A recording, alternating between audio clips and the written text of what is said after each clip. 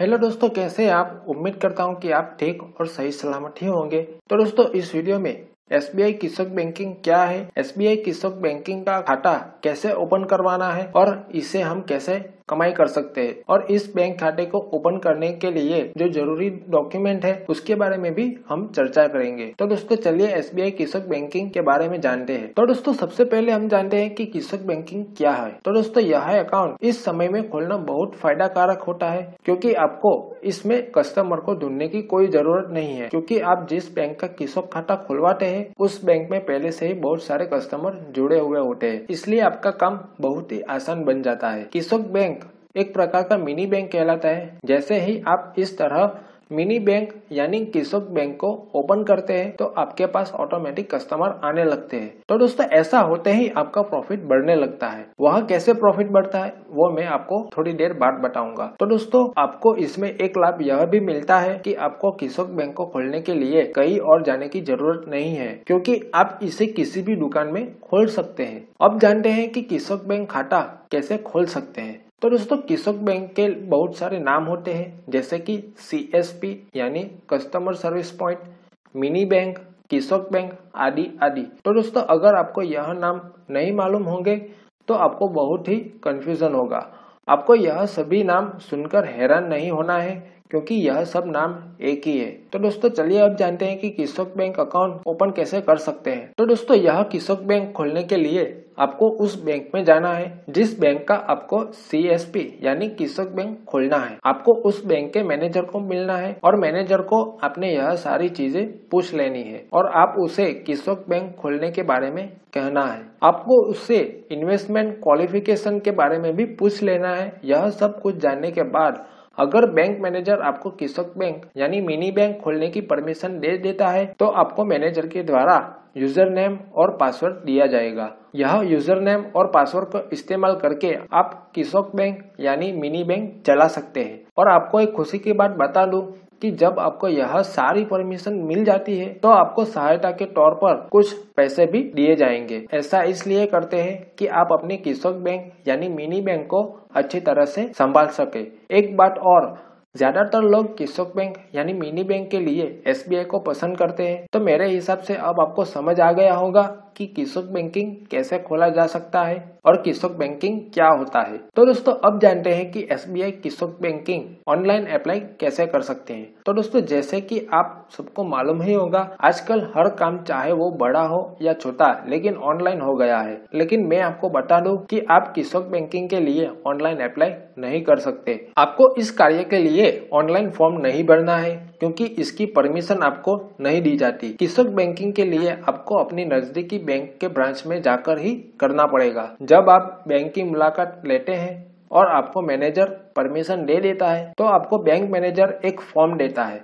फिर आपको वो फॉर्म भर के और बताए गए डॉक्यूमेंट के साथ उसे जमा कर देना है। इसके बाद आपको कृषक बैंकिंग खोलने की अनुमति दी जाती है। तो दोस्तों, इस तरह से आप कृषक बैंक के लिए अप्लाई कर सकते हैं। जैसे कि आप सबको मालूम होगा कि आजकल हर बड़ी कंपनी ऐसा प्रयास करती है कि उनके कस्टमर को अच्छी से अच्छी सेवा मिले। इसलिए आजकल बाज़ार में ऐसी बहुत सारी कंपनियाँ हैं जो आपको बहुत सारी बैंक की कृषक बैंकिंग प्रोवाइड करती है।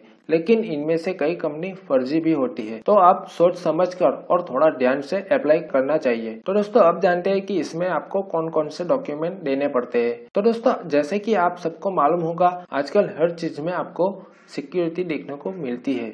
ठीक उसी तरह आपको कृषक बैंकिंग के लिए खुद को या फिर जो यह कार्य शुरू कर रहा है, उसे अपने आप को आइडेंटिफाई करना होगा। एस बी आई कृषक बैंकिंग के लिए अप्लाई करने के लिए दसवीं तथा बारहवीं की मार्कशीट की ज़रूरत पड़ती है, क्योंकि आपको इसके ज़रिए आपके आइडेंटिफाई कार को वेरीफाई किया जाता है। इसके अलावा कस्टमर की फिंगरप्रिंट की ज़रूरत पड़ती है, इससे ही उस व्यक्ति को आइडेंटिफाई किया जाता है। इसी के साथ आपको कुछ डॉक्यूमेंट्स को भी सबमिट करना होता है, जैसे कि आधार कार्ड, बिजली का bill, ration card, PAN card driving licence दो पासपोर्ट साइज़ के फ़ोटो, पटा प्रमाण पत्र, यानी कि वेरा बिल, आदि आदि चीज़ें की ज़रूरत पड़ती है। तो दोस्तों, यहाँ आप सोच रहे होंगे कि इसमें कमाई क्या होगी। लेकिन मैं आपको बता दूँ कि इसमें आप कमीशन के रूप में इनकम कर सकते हैं। इसमें यानी कि एसबीआई किस्तक बैंकिंग को शुरू करने वाले व्यक्ति को कमीशन के रूप में कमाई होती है। अब आपके मन में सवाल आया होगा कि इसमें कमीशन कैसे मिलता है? तो दोस्तों, इसमें आपको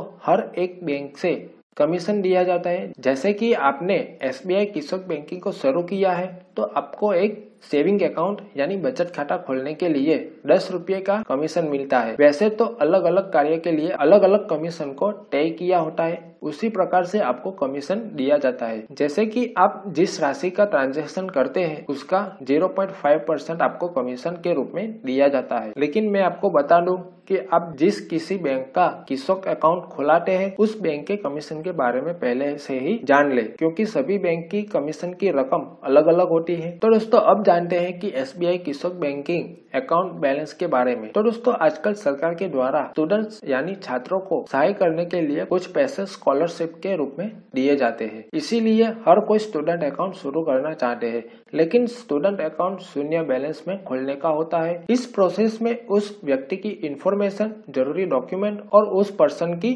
फिंगरप्रिंट लेनी होगी और यह सारी चीज़ें कलेक्ट करके आपको बैंक को दे देनी है। उसके बाद बैंक यह सभी डिटेल को चेक करके अकाउंट को अप्रूव करता है।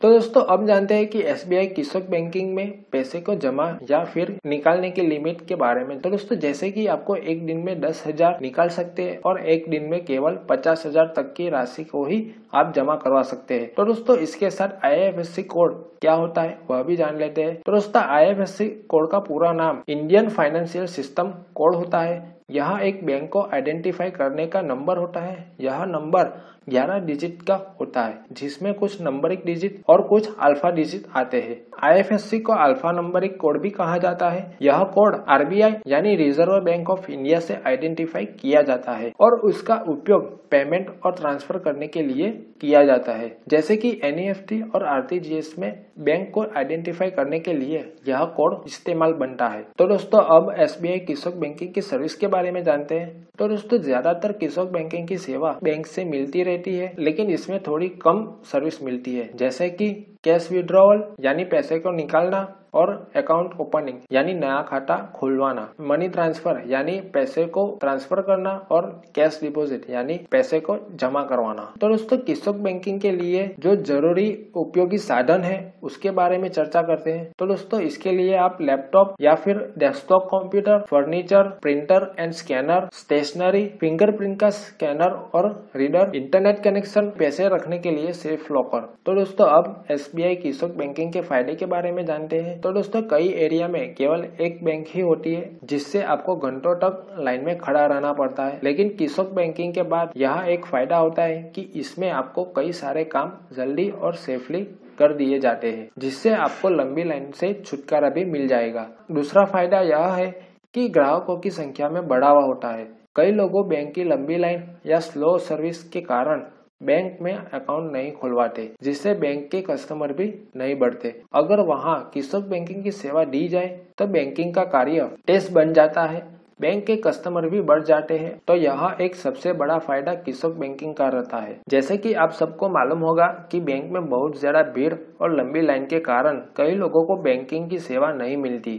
अगर मिलती भी है तो अच्छी सेवा नहीं मिलती। लेकिन किसक बैंकिंग के कारण सभी कस्टमर को बढ़िया सेवा दी जा सकती है। और जहाँ पर बैंक की सेवा नहीं पहुँचती है, वहाँ पर किसक बैंकिंग के द्वारा भी हम सर्विस दे सकते हैं। तो दोस्तों, सबसे बड़ा फ़ायदा यह है कि यह पैसे कमाने का बेहतरीन तरीका है। कई लोग ऐसे होते हैं जिसके पास कोई काम नहीं होता, लेकिन वे लोग काम करना चाहते हैं। तो उसके लिए सबसे अच्छा और लाभकारी कार्य यह है। इसमें आपको कार्य करने पर कमीशन भी दिया जा सकता है। तो दोस्तों, अब जानते हैं कि किसक बैंकिंग खाता कौन खुलवा सकता है? तो दोस्तों, जिस किसी को किसक बैंकिंग खाता ओपन करवाना है, वह व्यक्ति 10 पास या बारहवीं पास होना चाहिए और उसका पासिंग सर्टिफिकेट होना चाहिए। आवेदनकर्ता की उम्र 18 वर्ष या उससे ज़्यादा होनी ज़रूरी है। जो व्यक्ति किसक बैंकिंग खुलवाना चाहते हैं, वह व्यक्ति उसी एरिया का होना चाहिए। किसक बैंकिंग यानी सीएसपी कस्टमर सर्विस पॉइंट को शुरू करने के लिए आपके पास जगह होनी बहुत ज़रूरी है। तो दोस्तों एस बी किसक बैंकिंग के बारे में ज़्यादा माहिती प्राप्त करने के लिए हमारे वेबसाइट की पोस्ट पर आप पढ़ सकते हैं। लिंक आपको डिस्क्रिप्शन में मिल जाएगी। वहीं से आप और भी कई नई जानकारियों के बारे में जान सकते हैं। तो दोस्तों, उम्मीद करता हूँ कि आपको यह एस बी आई कृषक बैंकिंग की जानकारी पसंद आई होगी और आपको इसमें से काफ़ी सारी महत्वपूर्ण जानकारी भी प्राप्त हुई होगी। यदि आपको कोई प्रश्न है तो आप मुझे कमेंट बॉक्स में लिखकर ज़रूर बताएँ। मैं उस प्रश्न की जानकारी आप तक पहुँचाने की कोशिश ज़रूर करूँगा। यदि आपको यह जानकारी पसंद आई है तो इस वीडियो को लाइक कर दीजिएगा और अपने दोस्तों के साथ भी शेयर कीजिएगा, ताकि वह लोग भी इस जानकारी के बारे में जान सके। और इस तरह की नई नई जानकारियाँ जानने को पसंद है तो इस चैनल को सब्सक्राइब करके नोटिफिकेशन बेल को प्रेस करके ऑन कर लीजिएगा, ताकि नई जानकारी के साथ नई वीडियो आने पर आपको तुरंत मिल सके। आपका धन्यवाद।